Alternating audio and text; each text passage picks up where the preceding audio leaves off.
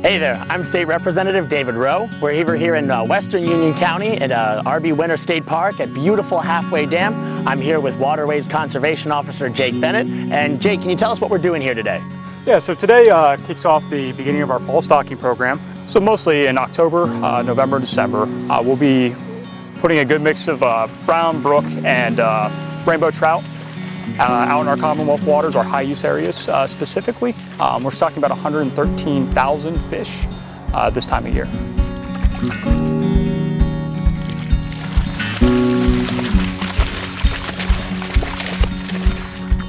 Fall is a beautiful time of year to be out and enjoy the resource. Uh, not only the more traditional things like your hiking and, and that sort of thing you can utilize, it's a great time to be out there fishing. There's still a lot of value left to be found in that license.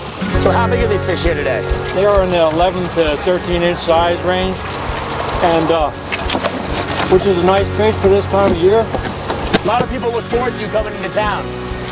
Something for them to look forward to. What do you love about this? Well, I do have the advantage of having a lot of friends in the springtime.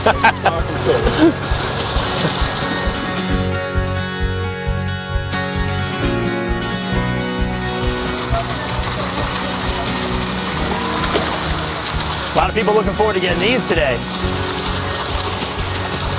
Thank you. It's been a long time growing them. How old are these fish? About a year and a half. There you go. Good looking fish here.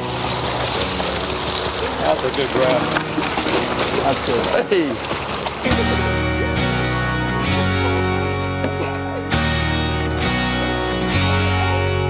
Got a nice little rainbow trout here, good size. This is pretty typical as to what we're stocking. Um, absolutely beautiful fish.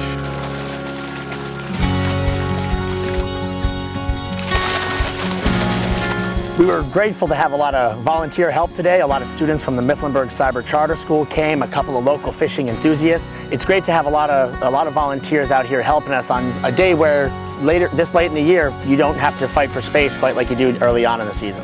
Yeah, and that's that's one of the excellent opportunities for everybody is, you know, like you said, you don't have to fight for all that space. So a lot of people get, you know, ah, trout season, it's it's crazy, it's busy, I can't really go out and enjoy it. I'm, my line's over everybody else's. You don't really have that here. Uh, we have a good group of people out there uh, ready to catch them. But believe me that those fish will be there uh, come late fall and in through the winter and hopefully early spring as well. Thank you. Last one of the day going in.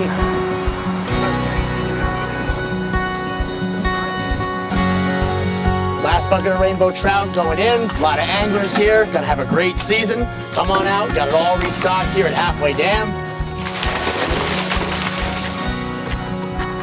Get your license. Come on out. They're ready for you. If you do want to keep trout this time of year, you do need your uh, trout salmon permit. And as a reminder, uh, coming into this late season, the limit for trout is three per day. Well, thank you very much, Officer Bennett, for taking the time to be here today. It's really nice to meet you guys.